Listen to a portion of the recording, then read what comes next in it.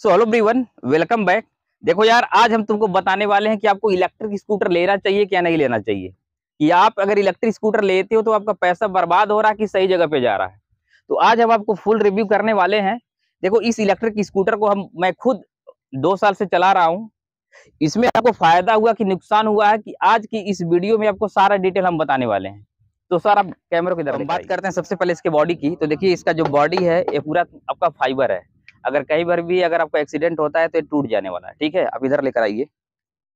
इसमें देखिए हमारा एक बार एक्सीडेंट हो गया था। इसमें देखिए, ये सारा, ये सब फाइबर देखिए, ये सब क्या हुआ है? टूट गया तो अगर आप ये सोचते हो कि इसकी जो बॉडी है, अगर आपको बहुत ज़्यादा ड्यूरेबल यानी बहुत स्ट्रॉन्ग मिलने वाला है तो इसमें नहीं मिलेगा, ठीक है? अब हो सकता है लोग बैटरी का बैकअप बढ़ाने के लिए इस तरीके से ये प्लास्टिक बॉडी देते हो। अब देखो, हम बात कर लेते हैं इसके ब्रेक की। तो ब्रेक अब डिस्क ब्रेक नहीं है, ठीक है? एकदम नॉर्मल आदमी जो चलाने होते हैं ना जेंटल इसमें जेंटल ड्राइव कर सकते हो। क्योंकि ब्रेक भाई बहुत स्ट्रांग लगने वाला नहीं है इसमें राइट और, बाकी इधर देखिए, ये सब आपका फाइबर का बना हुआ पार्ट है। नहीं है, ठीक है? आप इस केसिंग को भी, ये बाइक के साथ आता नहीं है, इसको आपको अलग से लेना पड़ता है। लगभग तीन हज़ार का आता है ये। बस ये सौ पीस करके है, इसका कोई फ़ायदा वैसे तो कुछ होने वाला नहीं है। देखिए, इतना ही कमज़ोर है ये। इस तरीके से पैर लगने से भी क्या होता है? ये टूट जाता है।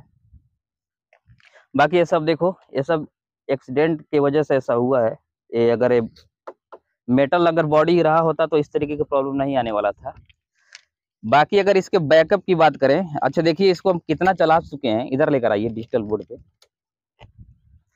देखो अभी आपको शो कर रहा होगा, twenty three thousand six hundred fifty eight kilometre. मतलब लगभग हम तेईस हज़ार किलोमीटर चला चुके हैं। तो इसका जो बैकअप अभी अगर सिंगल अगर आप आओगे तो सिंगल पे अगर चलता है 120 किलोमीटर मैक्सिमम 120 किलोमीटर चलता है तो बैकअप में कोई प्रॉब्लम नहीं है राइट?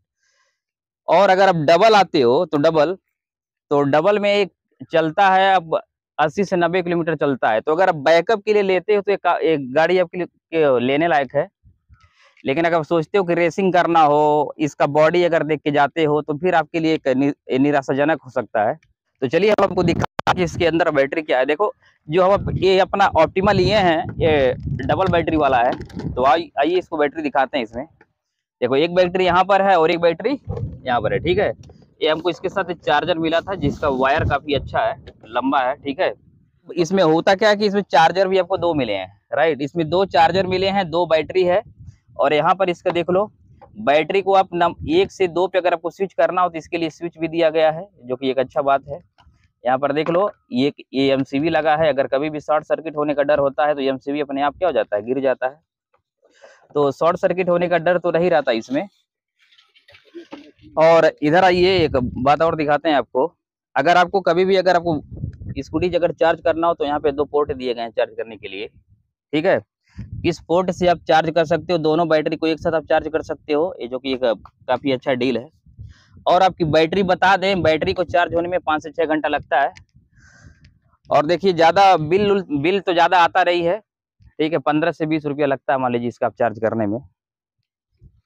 और इधर देखो, अगर आपको बैटरी डायरेक्ट चार्ज करना हो, इधर लाइए कैमरा अगर बैटरी को आपको डायरेक्ट चार्ज करना हो तो आप यहाँ से चार्ज कर सकते हो। देखो, यहाँ पर एक पोर्ट दिया है, आप डायरेक्ट चार्ज कर सकते हो। अगर आप किसी अपार्टमेंट में रहते हो तो बैटरी आपका रिमूव भी हो जाता है। आप निकाल के अपार्टमेंट में ऊपर लेके जा सकते हो। यहाँ पर देखिए, इस तरीके से आप अपार्टमेंट में लेकर जा सकते हैं, ठीक है? यहाँ से आप इसको निकाल सकते हैं। तो काफ़ी अच्छा डील है कि अगर आप शहर में भी रहते हो, अगर किसी अपार्टमेंट में रहते हो तो वहाँ पे भी आप इसको चार्ज कर सकते हो। इजिली आप रिमूव करके ऊपर ले जा सकते हो। ठीक है? तो अगर देखो यार, अगर इसमें देखा जाए, अगर आपके चलने की दृष्टि से तो पेट्रोल का कीमत तो बचता है there is no doubt but अगर थोड़ा बहुत अगर इसकी, अगर आप अगर आप देखोगे मजबूती देखने जाओगे तो मजबूती अब उतना नहीं मिलने वाला, क्योंकि सारा बॉडी किसका है? फाइबर का है. तो ओवरऑल बैकअप तो इसका बहुत बढ़िया है, थोड़ा सा जो प्रॉब्लम है ब्रेक में आता है ब्रेक उतना स्ट्रांगली लगता नहीं है, और फाइबर थोड़ा कमज़ोर है. बाकी ओवरऑल बहुत अच्छा डील है. मैं खुद पर्सनली दो साल से चला रहा हूँ, अभी तक इसमें कुछ हुआ नहीं है. सर्विसिंग का जो खर्चा आता है ढाई सौ रुपया खर्चा आता है। और जब तक आपका अगर मतलब वो, अगर सर्विस में रहेगा तो कोई पैसा नहीं लगने वाला है। अगर कुछ एक्स्ट्रा पार्ट लगवाते हो तो भी आपका आता है। तो अब आपको पता लग गया होगा कि आपको लेना है कि नहीं लेना है, ये आपके ऊपर है। अब बाकी तो हर चीज़ हम आपको बता दिए हैं। चलो, मिलते हैं नेक्स्ट वीडियो में। तब तक के लिए बाय बाय